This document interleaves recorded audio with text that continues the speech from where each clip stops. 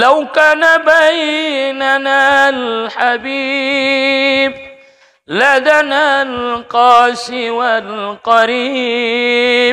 من طيبة قبل المغيب Assalamualaikum warahmatullahi wabarakatuh. Kita sedang bersama putra terbaik Kabupaten Maning Natal.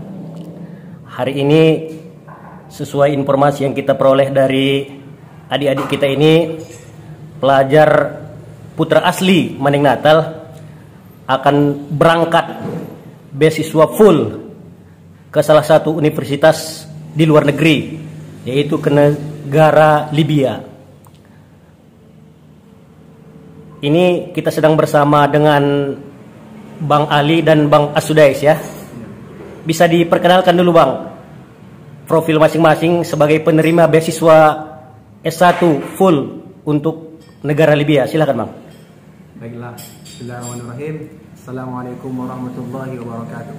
Alhamdulillahirrahmanirrahim. Wassalatu wassalamu ala anbiya'i mursalin wa ala alihi ajma'in. Teman-teman semuanya, perkenalkan nama saya Muhammad Aliul Is, bisa dipanggil Ali. Saya sendiri berasal dari uh, Desa Sipapaga, Kecamatan Panjabungan, Kabupaten Mandailing Natal. Alhamdulillah saya uh, telah diwisuda ataupun telah belajar menempuh, menuntut ilmu di Pondok Pesantren Mahat Izuri Salah dan setelah itu melanjutkan pendidikan ke negara Libya insyaallah dengan jamiah dengan nama jamiahnya Kuliatul Dakwah Islamiyah.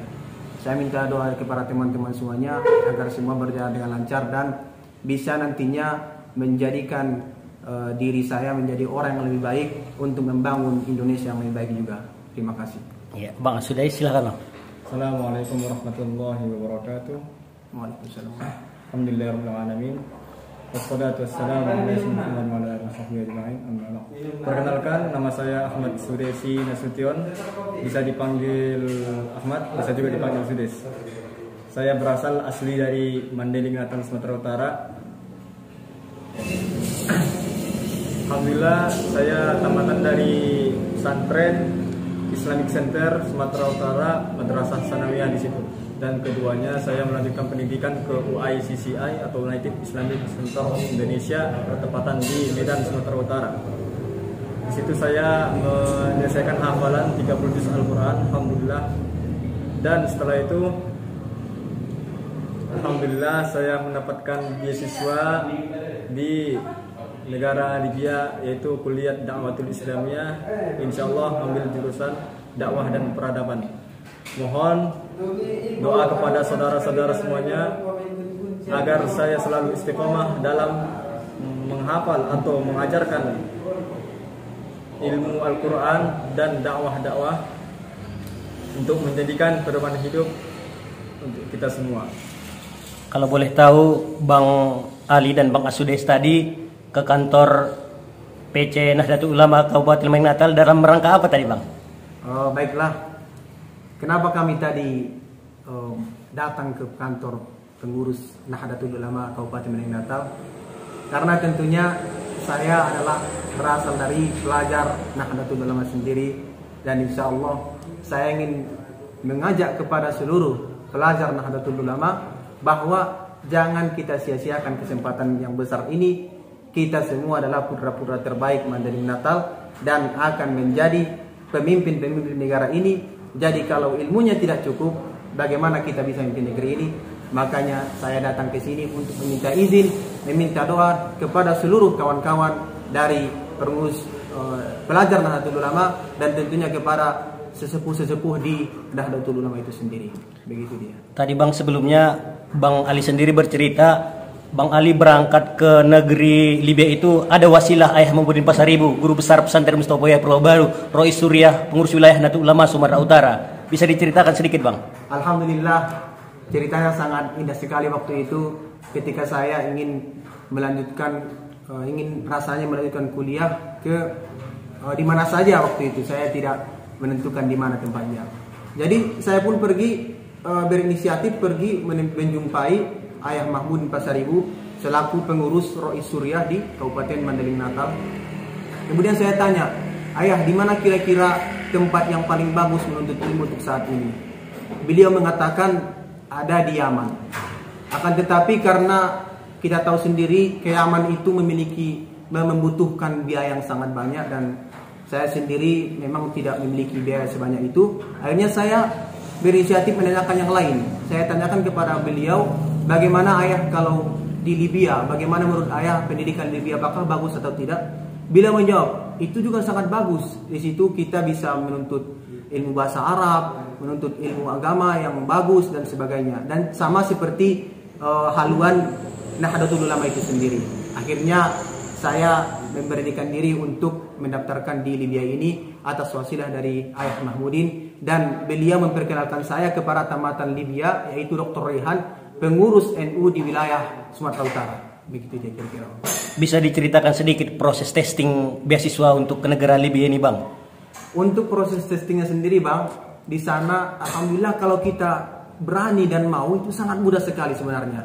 Yang pertama kita harus mempersiapkan berkas-berkas yang dibutuhkan oleh uh, jamiah atau kuliah itu sendiri. Misalnya paspor ijazah uh, SKCK dan sebagainya kemudian setelah kita uh, mendapatkan dokumen-dokumen yang kita butuhkan kemudian kita terjemahkanlah ke bahasa Arab di penerjemah resmi mungkin di Jakarta atau sebagainya. Setelah itu kita masukkan semua dokumen-dokumen yang dibutuhkan dan kita kirimkan ke email kampus di Libya itu sendiri. Setelah itu mereka akan menyeleksi dokumen kita apakah bagus atau tidak, apakah nilainya bagus dan sebagainya. Nah, nanti kalau Anda ketika SMA atau ketika aliyah belajarlah bagus-bagus agar nilainya bagus. Kemudian setelah itu mereka akan memilih yang bagus-bagus dokumennya dan akan menetapkan kapan waktunya wawancara. Dan di wawancara itu sendiri kita akan uh, diwawancarai dengan bahasa Arab dan akan ditanyakan seputar hal-hal keagamaan seperti fikih, uh, nahwu sorok dan sebagainya dan tentunya menggunakan bahasa Arab. Ada berapa orang yang testing dari Indonesia, Bang, dan berapa orang yang lulus dari Manding Natal? Kalau kemarin saya lihat di uh, di grup Telegram uh, kampus itu yang testing dari seluruh dunia hampir lebih dari seribu orang. Tapi alhamdulillah yang dari Indonesia alhamdulillah laki-laki dan perempuan lulus sekitar 50 orang lebih sedikit. Dan dari Mandailing Natal sendiri alhamdulillah kita telah menempatkan dua nama yaitu saya sendiri dan saudara Sudais. Uh, kira-kira bang untuk berangkat ke negara Libya ini masih ada nggak bang kendala misalnya kendala dana atau biaya ada masih ada nggak kira-kira bang? Iya bang. Kalau sebenarnya bang jujur saya sendiri bukan merupakan orang yang oh, ke atas istilahnya, tapi bercukup berkecukupan lah begitu juga dengan saudara-saudari. Walaupun mungkin saya mempunyai sebuah uh, orang tua punya pondok pesantren, tapi itu tidak menjadi ladang untuk mencari rezeki bukan, tapi itu adalah untuk memberikan ilmu kita kepada mereka. Jadi kita tidak mengharapkan dari situ. Kalau saya sendiri, alhamdulillah memang sudah sudah selesai untuk ongkos dan ada sedikit diberikan orang tua uh, biaya untuk kehidupan di sana. Tapi mungkin dari saudara Sudais seperti yang beliau katakan kepada saya, beliau masih kekurangan dana di keberangkatan.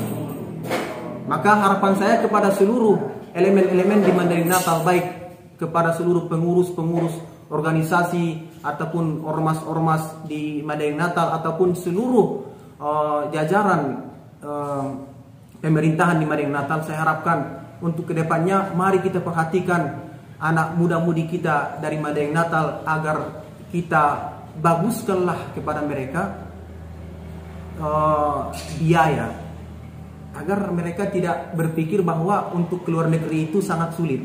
Jadi saya harapkan ini perlu kita lihat kembali so, uh, muda-mudi kita yang berprestasi kita gembleng agar bisa mendapatkan biaya yang diperlukan untuk keluar negeri nanti.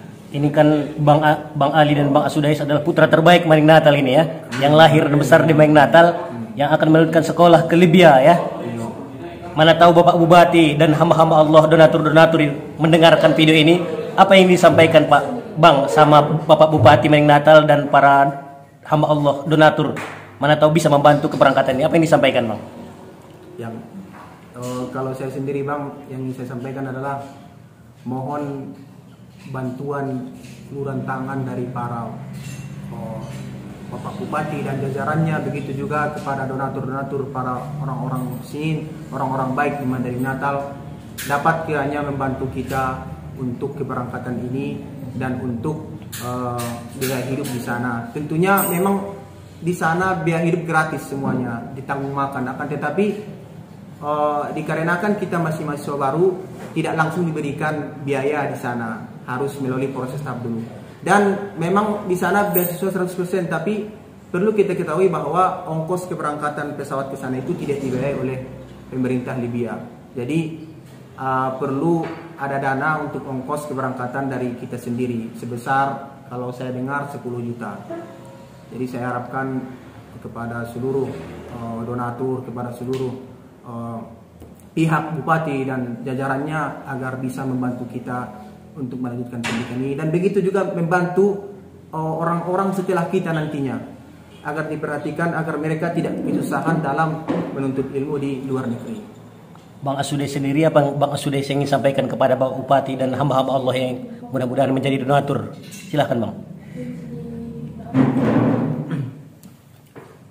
Kepada Bapak Bupati dan hamba-hamba Allah yang lainnya agar sekiranya dapat membantu kami untuk memudahkan urusan kami atau mempelancarkan urusan kami untuk melanjutkan pelajaran ke luar negeri atau di Libya agar kami bisa uh, menuntut ilmu ke negeri Libya dan insya Allah akan mengabdikan diri kepada negara Indonesia dan terutama di Mandailing Natal Sumatera Utara. Yang terakhir Bang, kesuksesan Bang Ali ini kan Bang dan Bang Asudes ini terlep, tidak terlepas dari dari para guru-guru kita dan orang tua tentunya kan itu yang sudah payah berjuang untuk menyekolahkan kita. Untuk mengambil keberkahan ada nggak ingin disampaikan ucapan terima kasih atau doa untuk orang tua dan guru-guru kita bang? Silahkan bang. Saya sendiri sebagai orang yang besar dari keluarga yang di dalamnya terdapat orang-orang agama. Tentunya saya uh, sangat berterima kasih kepada seluruh guru-guru. Tentunya guru-guru saya juga baik ayah-ayah yang ada di seluruh Mandailing Natal. Saya sangat berterima kasih atas doa-doa dari beliau semuanya. Begitu juga dengan doa orang tua saya yang tidak pernah berhenti untuk memberikan yang terbaik kepada saya. Beliau berdoa walaupun mungkin saya jeng walaupun mungkin saya tidak berlaku baik kepada beliau tapi selalu mendoakan saya. Begitu juga kepada seluruh guru-guru dan masaih-masaih yang ada di Mandailing Natal terkhususnya yang ada di Kabupaten Pademangan ini. Dan uh, saya berharap akan ada penerus seperti mereka nanti untuk mendoakan yang terbaik kepada pemuda-pemudi di Mandailing Natal tentunya. Khusus mari kita sama-sama doakan untuk kesuksesan PCN Mandailing Natal. Begitu juga dengan pengurus-pengurusnya seperti ayah ayah um, uh, Mustafa Bakri, begitu juga dengan ayah Mahmudin Pasaribu dan seluruh pengurus-pengurus yang ada di Kabupaten Mandailing Natal. Bang Asudais. Dan saya dan saya juga sangat berterima kasih kepada guru-guru atau ayah-ayah semuanya yang telah mendoakan saya dengan sangat bersungguh-sungguh dan kepada orang tua saya terutama bersangat berterima kasih banyak yang telah mendidik saya dari awal saya kecil sampai besar sekarang juga dan tak bisa mengatakan apa yang sebenarnya yang saya rasakan sekarang mudah-mudahan Allah membalas kebaikan agar Allah bisa membalas kebaikan orang tua saya dan kebaikan guru-guru saya dan kebaikan para para asatid asatid saya. Bang A, Bang Ali dan Bang Asudais kan adalah pelajar terbaik hari ini yang akan berangkat ke Libya ya, beasiswa ya. Agar ini menjadi motivasi kepada pelajar-pelajar Meneng Natal, ada nggak bang kata-kata motivasi yang ingin disampaikan kepada pelajar Meneng Natal agar bisa nanti juga belajar ke Libya atau ke negara-negara lain untuk menuntut ilmu seperti abang-abang? Silakan bang. Dari saya sendiri bang, hanya sedikit kata-kata bahwasanya Indonesia ini adalah negara yang besar. maka butuh orang-orang besar untuk membangun negara besar. Dan orang kecil hanya akan bisa menjadi penonton di negara besar. Terima kasih. Bang Asudais apa yang ingin disampaikan bang? Oke, untuk kawan-kawan semuanya agar selalu semangat, jangan uh, melihat apa yang orang hasilkan, tapi apa yang diperjuangkan selama ini. Dan jangan lihat uh, di mana dia menghasilkan sesuatu yang sangat wah, tapi lihat dari awal dia sakitnya menahankan perjuangan untuk menyampaikan dasar yang dia tuju, tuju tersebut. Dan kepada kawan-kawan semuanya, mudah-mudahan Allah memberikan kemudahan untuk antum semuanya, untuk memudahkan antum semua untuk melanjutkan pelajaran-pelajaran dan mewujudkan impian-impian bangsa Indonesia ini. Terima kasih. Oke bang, terima kasih atas waktu dan kesempatannya. Mudah-mudahan video ini bermanfaat dan bisa menginspirasi pelajar-pelajar Kabupaten Matilati untuk sukses mendapatkan beasiswa belajar ke luar negeri, terkhusus ke Timur Tengah. Mudah-mudahan nanti setelah tamat dari Libya nanti bisa mengabdikan diri untuk Indonesia dan Natal bang ya. Insya Allah. Mudah-mudahan juga dengan silaturahmi dan pamit ke kantor PC Nahdlatul Ulama Kabupaten Matal yang ketuanya adalah Ayahanda Haji Mustafa Bakri Nasution, pimpinan Pondok Pesantren Mustafa Baru ini membawa keberkahan. Dan mudah-mudahan juga Bapak Bupati Natal dan seluruh stakeholder yang ada di Mating Natal ini bisa membantu. Hamba-hamba Allah yang lain juga bisa membantu untuk keberangkatan Bang Ali dan Bang Asudes ini ke negara Libya. Amin ya Allah. Karena kita yakin dan percaya masih banyak orang di luar sana yang peduli dengan pemuda-pemuda dengan pelajar-pelajar yang punya semangat yang luar biasa untuk melanjutkan pendidikan ke luar negeri ya. Kami dari PCN Natal mendoakan semoga abang-abang berdua ini bisa sukses dan mengharumkan nama Kabupaten Natal di luar negeri di negara Libya ya. Terima kasih Bang. Assalamualaikum warahmatullahi wabarakatuh. Waalaikumsalam.